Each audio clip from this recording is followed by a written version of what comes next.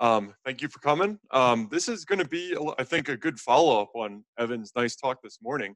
Um, we had a really nice discussion last year here with our uh, first meeting of the AI and ML initiative within systems, uh, within the cyber infrastructure group. Um, so as a follow-up, we decided to get together some knowledgeable folks who have been working on this, um, mostly from academia, but we do have one representative to industry, um, to give us a little bit of an insight and open the floor for panel questions. So I will just introduce the panelists real fast. We'll have a couple very quick presentations from the panelists. Then we're going to open the, floor to questions and uh, a little bit of follow up at the end.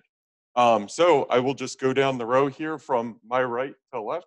Um, at the end, we have Evan Goldstein from UNC Greensboro. You heard from him this morning. Um, we have Daniel Buscombe from uh, Northern Arizona University, who is a last minute exciting addition to our panel. Um, we have Sophie Giffard um, from uh, CU Boulder here, a postdoc, and uh, Steve Sain from uh, Jupiter Intelligence, a local um, startup using AI machine learning. So uh, without further ado, um, yeah, Sophie, would you like to take it away? That. It should be on. Talk uh, directly in. Okay. Do you hear me? Yeah. Okay, so um, I'm just I just have two slides about two works that I am doing now, but mainly what I do is trying to work to apply machine learning techniques and to develop new machine learning techniques to specific atmospheric or climate um, applications. Um, so this work, so I actually work with Claire Monteleoni, who is also uh, a professor here, so you might know her. Um, this work was actually trying to predict the forecast, so forecast hurricanes, uh, forecast tracks specifically, um, and this from a database. So not trying to use models, but a database and actually reanalysis data. So we came up with like a neural networks that actually is a new type of neural networks because we had to fuse different types of data. So here comes like what I try to see as combining um, what like some specific uh, machine learning te techniques, so neural networks, but trying to put them into a specific uh, problem, which is we have different uh, set of types of data. How do we combine them? So this was the first work. I am now working also on trying to detect avalanche depositions or um, avalanche. I think you can call it different ways. I, I hope deposition is a fine way, fine, fine word uh, in, in English. And this from SAR data. So I guess you might knows this kind of satellite data. And so the goal here is how you can we can adapt some techniques, some machine learning te techniques on uh, data that is actually kind of uh, blurry, but also uh, where we don't have a lot of uh, ground truth labeling, labeling, which is where we know where an avalanche has occurred or not. So I'm not going to enter into details. Then I have just one slide about what I think should be um, collaborations between machine learning and experts. So machine learning, when usually when they try to um, apply their methods, what they look is just data, whatever data, to test their new cool algorithm. But actually, they don't really care about what they are solving, and usually they're solving some completely uh, useless problems. On the other hand, um, if you're uh, an expert on whatever field, I worked previously on, on medical uh, images, so that's why you see a, a, a medical guy. Um, usually, you have a cool problem, and you try really to solve that uh, with machine learning methods. But because you don't know a lot about it, usually you're using some wrong solutions. But I don't blame you. Um, and I think if we combine the two, but combining really means to try to go back and forth between the two worlds. Then we can end up in, in making some good research. Okay. Thank you, Sophie. We're going to hold questions until both presentations and then open the floor entirely. So next will be uh, Steve from Jupiter.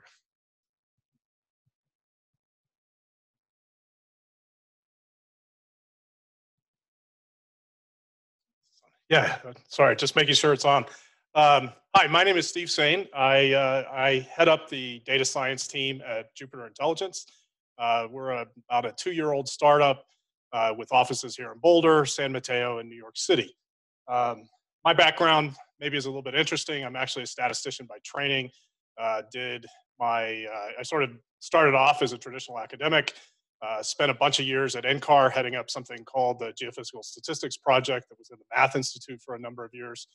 And then, you know, four or five years ago, I, uh, I decided to go be a data scientist, whatever that means. Um, ended up uh, working for a company based out of out of San Francisco, and then the opportunity to join Jupiter, you know, roughly a year and a half or so ago arose, and um, here I am. Uh, so, what is Jupiter? Um, you know, uh, we get a lot of good jokes about Jupiter, uh, Jupyter notebooks. You know, the, the planet. Do I know how? All these other things, but really, what we're trying to do is try to provide asset level probabilistic climate risk information uh, about different hazards that might be affected by extreme weather and climate change. So we currently have products in the uh, sort of in, in, the, in the flood space. Uh, we also have products that focus on extreme heat. Uh, we're developing a product uh, that should be, you know, uh, depending on how you count, sometime this year on wildfire and, and exploring a number of different other opportunities.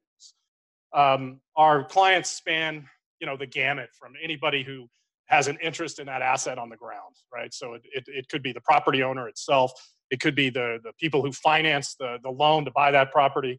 It could be the insurance agencies uh, or insurance companies or the reinsurance companies that are, that are trying to handle the risk for that property, as well as different municipalities uh, basically around the globe. Um, if we want to sort of dive in a little deeper into thinking about what we try to do, um, take the example of, of, of coastal flooding. Uh, coastal flooding, uh, probably a lot more experts on this in this room than I am, but you know, you might think of, a, of, of, coming from three three different sources that we that we typically try to model: uh, extreme rainfall, tropical cyclones, and then the growing sort of interest in, in sunny day flooding. Right? You just happen to have a high tide, the wind blowing the wrong direction. You get enough water, you start closing down streets. It's becoming a bigger and bigger problem in many coastal areas. Um, our, our pipelines are sort of built to do you know, different kind of dynamic weather, weather modeling, um, kind with coastal surge modeling, and then of course uh, hydraulic modeling to, to wrap all of this stuff up, and then of course pushing it into statistics module that that then brings uh, bring our risk estimates to uh, to our clients. Um, and of course, driving all of this are some some underlying assumption about changing rainfall, sea level rise that, that sort of go along with um, uh, different assumptions people want to make about climate change. Okay, so right now our focus on machine learning has a lot to do with trying to figure out where our pain points are especially as we try to do things uh, more efficiently right i.e cheaper. Uh, we do everything in the cloud so every penny counts. Um, we also are trying to scale right? Most of when we're talking about asset level information we're talking about results that are say at meters type scale um, over tens to hundreds of hundreds of millions of locations in a particular domain so as we try to build those efficiencies, as we try to scale, our pain points have, have come up, and, and, machine learning is a way, uh, one tool that we're trying to use to address some of those pain points. Many of them are probably not unfamiliar to you guys. Uh, you know, simple fact of the, the historical record is incomplete. We have to deal with missing data all the time, right? Missing data is something that we can try to use machine learning to tell us, uh, you know, how to infill those results. Um, there's also not a lot of it especially when we start talking about extremes. Um, the, the data quantity is pretty small when you want to start talking about, say, a 100 year flood risk. So there's this concept of, of weather generators that also comes to rise. Uh, downscaling, uh, you know, I already mentioned the fact that we're trying to do things at a sort of a meter scale type resolution. So downscaling our, our dynamical models becomes even more important as well. Uh, something I'm just sort of getting involved with right now, uh, hydro conditioning DEMS to sort of drive our uh, hydraulic models. Lots of problems there. Um, and machine learning can, can play a role in all of these things. Um, my personal view is, is I simply try to find the best solution for the job. Okay, so whatever problem is at hand, that could be a linear regression or it could be a deep learning model. Frankly, I don't care.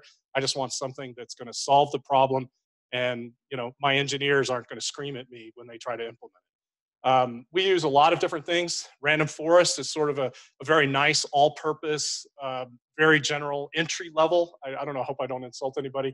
Kind of machine learning uh, technique that, that, that, we like a lot. We use it for downscaling. We use it for a lot of infilling uh, when we have missing data. So it, it's sort of a nice, all-purpose sort of machine learning algorithm.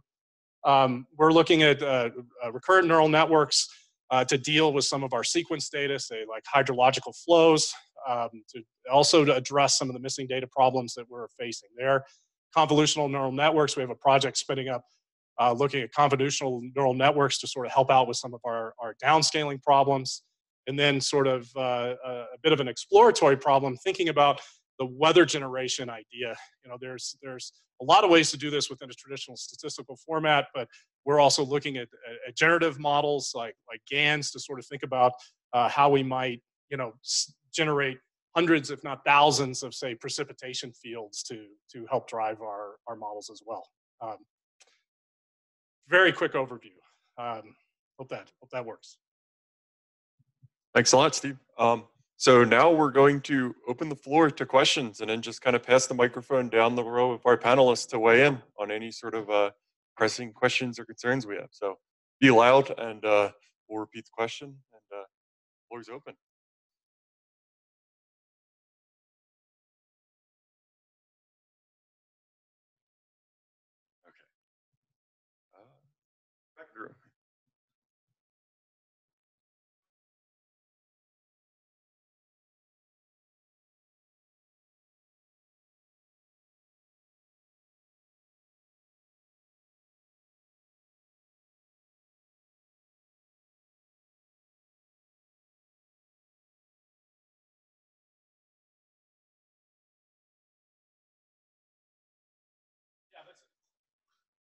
So the question was, is the pain point referring to the model in particular or the facility? Yeah, I, I think I was speaking more part of the modeling pipeline, right? Um, whether that's uh, you know in the historical data that we sort of need to to start driving the model, or in the entire sort of simulation process, right? Um, again, you know, you're you're trying to simulate something that's got um, you know 100 million grid boxes, and you need thousands and thousands of simulations. You need to do something a little more efficiently.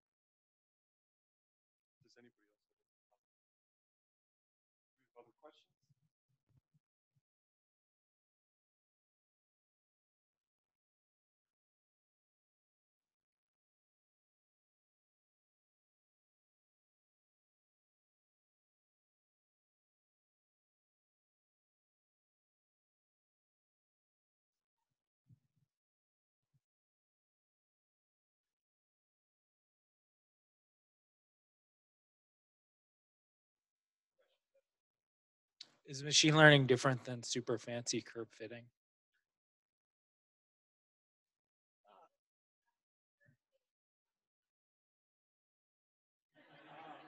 Uh, No, I, I, yeah, no, I think it's a really good question. Um, I think it's a totally valid question and a good question. I think that uh, what I was speaking about is just a simple example, and simple examples tend to look like curve fitting examples, but it's a as a subdiscipline, it's as diverse, if not more diverse, in the topics being studied than um, uh, than a- lot of the a lot of earth science subdisciplines. So there's a lot going on. I just have this one reductive viewpoint of it that I wanted to present to you. But I'm going to actually pass the microphone to Alon. 'cause That's my Yeah, thanks, Evan. Um, I guess my perspective on this is in general that a machine learning algorithm is something that's going to end up telling you what the rules are. And a statistical approach is going to be more in line with uh, these are a set of prescribed rules that you need to follow. You need to find the roots of a poly- polynomial, for example, in a certain way. And a machine learning algorithm is a much more data agnostic. It doesn't assume so many things. Um, it, and it, it often can even get you the same answer than a statistical model can. Yeah, no, I think I agree with what was said. Roughly, you can s- view some of the machine learning techniques as just curve fitting, or but it goes way more than that. I would say this is like the simple example. Yeah. Um, being a statistician by training, I, I always sort of, um, I, don't think, I, I personally am not sure. I think the lines are a lot more blurred than, than um, what really, what, what, is the true reality. And, and there are certainly places where statistics is, is more appropriate. And there's certainly places where machine learning works more, but, but I think the biggest thing here is, is calling it curve fitting just doesn't do it justice because the problems that we're facing have so much structure so much sort of going on that it, it, it's so far beyond fitting a curve or a even a surface. Um, and, and the ability to sort of, as, as somebody sort of alluded to, be able to infer that from the data directly is, is, is pretty powerful. And, you know, kind of calling it curve fitting is you know, just, I mean, I think that's a little weak, honestly. Do we have uh, more questions?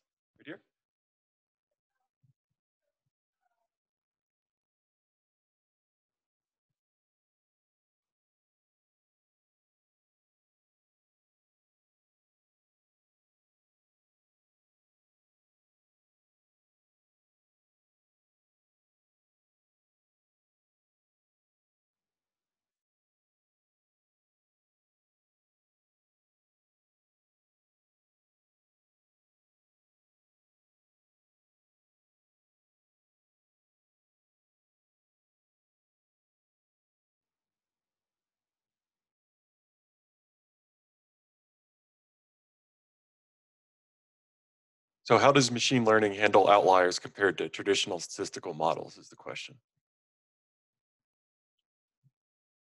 Maybe I can just start by saying that there are some machine learning methods that are kind of very rob- robust to, to that. For example, the simple, I would say simple, they, they were very fancy five years ago. Uh, support ve- vector machines are actually finding some vectors, so some points of the data that will uh, try to just uh, find, for example, a, a classification. You want to classify two classes.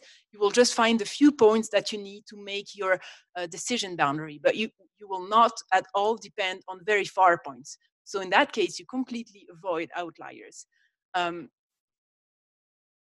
I would say that it's a, like a data-driven driven method in any ways, uh, machine learning. So of course, if you have too many outliers, you will have a problem. But generally, because it's a data-driven method, it might also be robust to, to very like different types of data.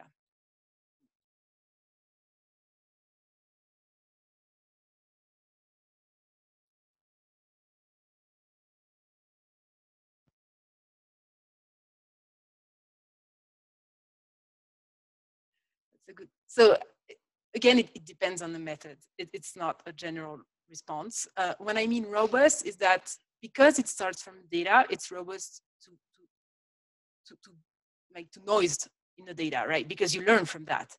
Um, but then uh,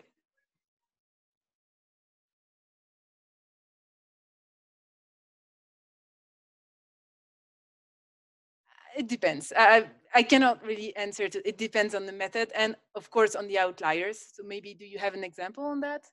I never really with specific outliers, so know.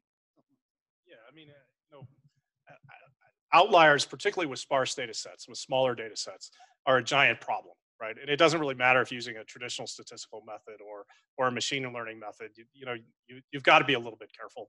Overfitting is always a problem.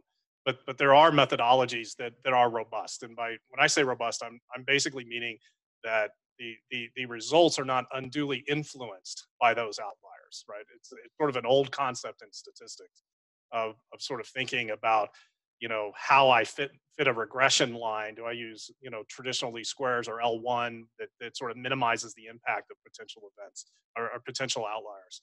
Um, so so it is a challenging problem. There's no there's no i don't think there's any great solution. It, it, it just requires a little bit of care and thinking about how you apply it particularly with smaller data sets.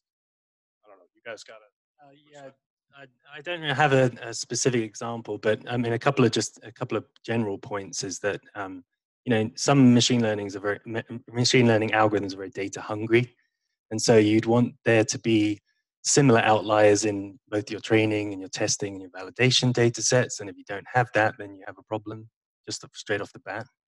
Um, what was the other point that I was thinking of? No, it, it, it, it's it's lost. Uh, sorry.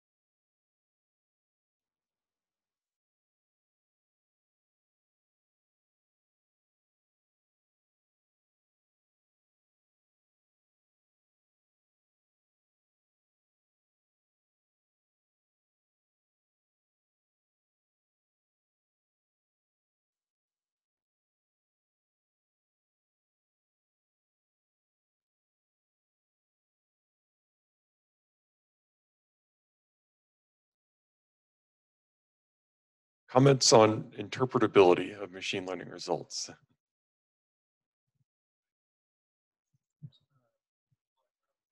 Yeah.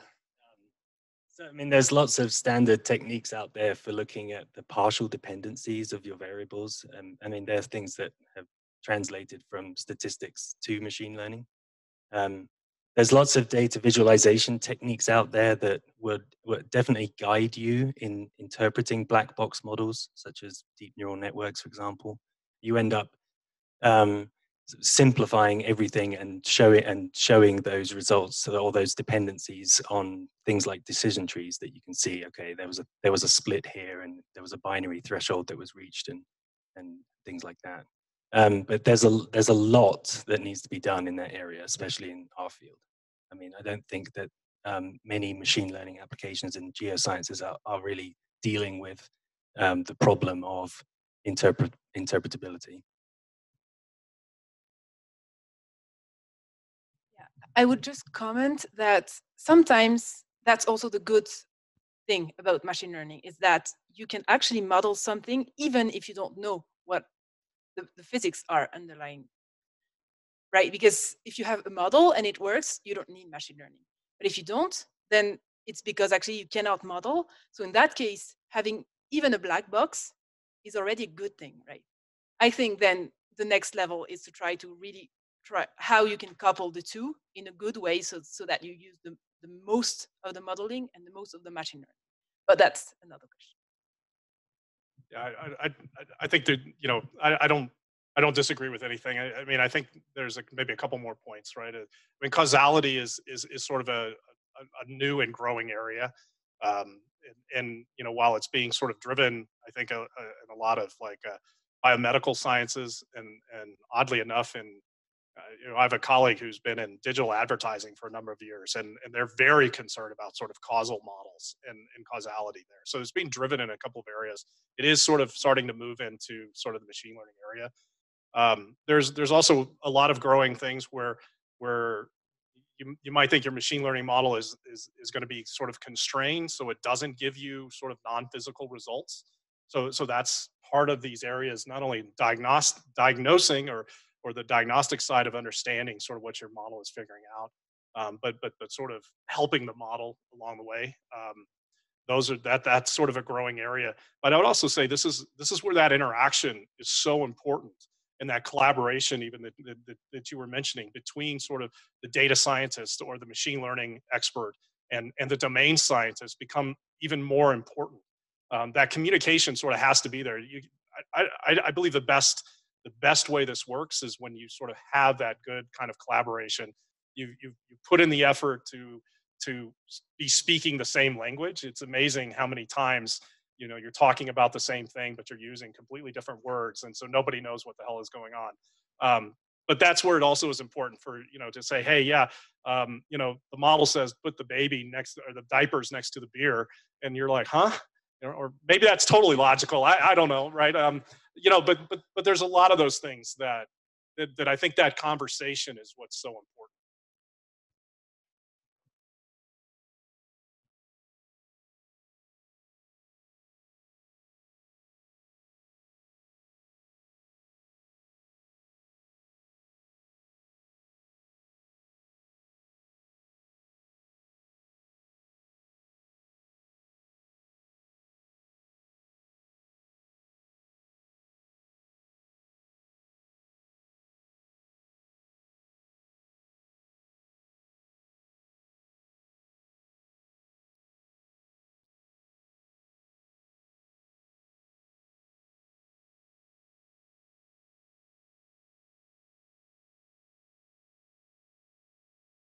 Yeah, yeah, absolutely. But that, that's also where I, I, I, think it's very important that you have that interaction.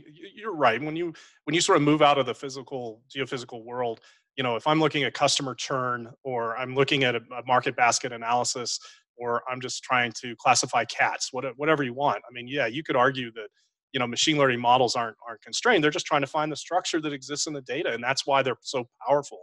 Um, because sometimes that structure is really complicated. Um, but but again, that's sort of where that conversation has to has to be important, and and ultimately it depends. Um, you know, I've I've I worked at a company looking at customer churn, and honestly, you know, really all they wanted was classifications of people, um, so that so that the sales staff could go out and and and talk to the ones that we thought were at risk. They didn't really care why; they just they just wanted to know. So it, it sort of depends on what you're after. If you if you're after the learning, you know, you you might choose a different approach. If you just want pure predictions of yes or no, then maybe you choose a different approach. uh, for the sake of time, we're going to have to conclude, but uh, just like to have everybody thank our panel again for uh, coming and attending.